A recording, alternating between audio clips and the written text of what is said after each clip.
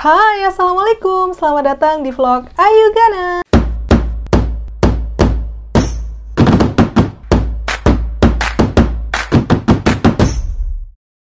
Di video kali ini, aku mau ngebicarain tentang minyak telon My Baby yang eucalyptus 8 jam ya. Nah, minyak telon My Baby itu ngeluarin dua versi. Yang pertama minyak telon My Baby yang oil dan minyak telon My Baby yang lotion. Ini dua-duanya sama-sama aku pakai, terlebih yang minyak telon oil itu dari anak pertama aku, itu aku sudah pakai. Tapi kalau yang lotion ini karena baru, ini baru aku pakai di anak kedua aku. Entah kenapa ya, padahal sudah digempur sama banyak banget minyak telon wangian yang enak-enak banget, yang macam-macam itu. Aku udah cobain semuanya, tapi kayak ada wangi yang selalu aku rindukan gitu. Yaitu bau klasik dari My Baby minyak telon ini. Udah kayak rumah untuk kembali gitu loh. Setelah berkeliling-keliling nyobain minyak telon yang wanginya enak-enak itu ujung-ujungnya ya aku balik lagi ke minyak telon My Baby yang eucalyptus. Nah, kira-kira pilih yang mana ya? Bagusan yang mana sih antara minyak telon oil atau minyak telon lotion gitu ya? Simak terus sampai akhir ya. Kalau dia dari kandungannya itu sebenarnya hampir mirip-mirip sih. Ada minyak serehnya, ada kamomelnya, ada minyak adasnya, ada minyak kayu putih. Walaupun persenannya memang lebih sedikit yang lotion ya. Dan yang oil masih ada campuran minyak kelapanya. Kalau yang lotion ini nggak ada. Tapi kandungan atau bahan dasar lotionnya itu 100%. Jadi semacam cream lotion yang dicampur dengan oil-oil yang aku sebutin tadi. Nah, mungkin karena perbedaan presentasi itu, menyebabkan wanginya itu juga nggak mirip-mirip banget gitu.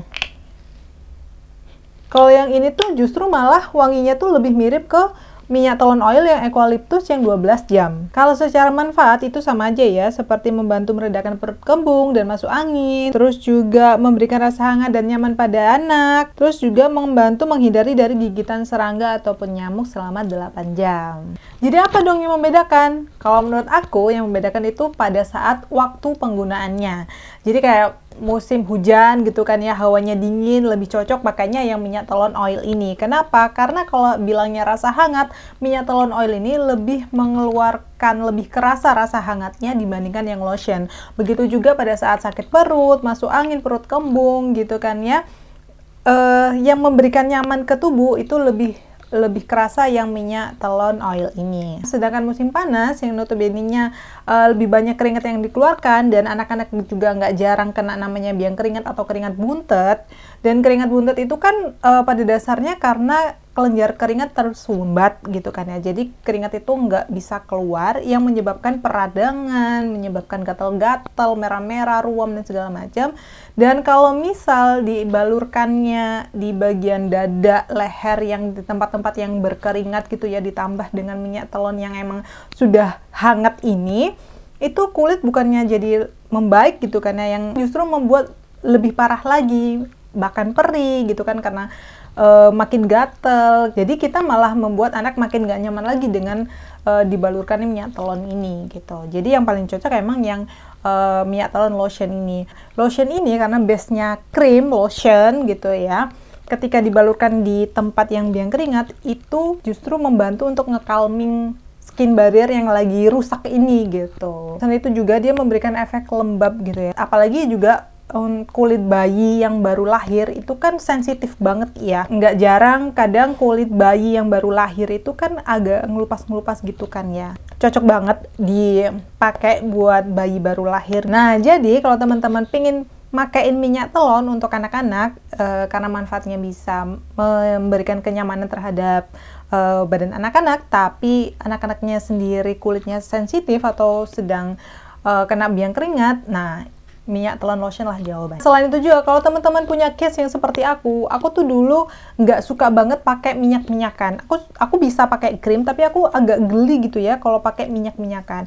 Dan pada saat punya anak itu mau nggak mau dong karena aku taunya dulu zaman zamanku dulu itu uh, minyak telon ya bentuknya uh, oil kayak gini mau nggak mau kan aku harus uh, membalurkan minyak itu ke kulit aku. Dan itu bener-bener geli banget gitu kan ya. Jadi teman-teman yang punya case sama seperti aku yang karena geli sama perminyakan nah teman-teman bisa pakai yang minyak telon lotion ini gitu. Karena dia bentuknya krim kayak lotion. Nah kalau misal kita mau pijat anak kalian bisa pakai minyak telon. Cuman minyak telon yang cocok untuk pijat lebih enak kalau pakai yang minyak telon oil. Karena dia bentukannya minyak jadi kan kayak licin gitu enak banget waktu mijatnya kalau wanginya sendiri menurut aku yang lebih awet di kulit itu yang minyak telon oil sih menurut aku. Karena dia tuh minyak-minyakan gitu. Setiap orang itu kan punya bau uh, keringat masing-masing ya apalagi anak bayi Nah, ketika minyak telon ini bercampur dengan keringatnya bayi, itu benar-benar kayak menimbulkan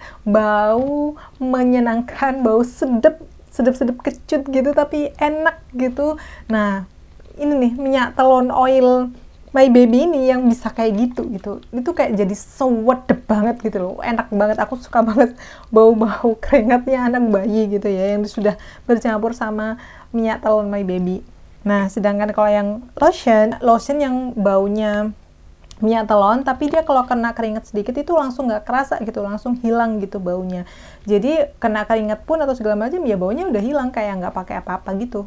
Nah, kalau dari segi size, kalau yang minyak telon oil ini, ini size-nya 150 ml. Biasanya dua bulan sampai tiga bulan baru habis gitu untuk dua anak ya. Segini harganya 35.000 gitu ya buat dua bulan sampai tiga bulan. Sedangkan yang lotion itu 50 gram aja. Harganya emang lebih murah 15.000 tapi cuman untuk um, untuk seminggu sampai dua minggu. Jadi dalam satu bulan bisa habis 2 sampai 3 atau bahkan 4 cup gitu. Jadi menurut aku ya emang lebih hemat yang minyak telon oil ini. Tapi kembali lagi tergantung sama kebutuhannya ya, tergantung cuacanya. Ya teman-teman harus punya dua-duanya. Oke, segitu dulu reviewnya dari aku tentang produk My Baby, minyak telon lotion dan minyak telon oil.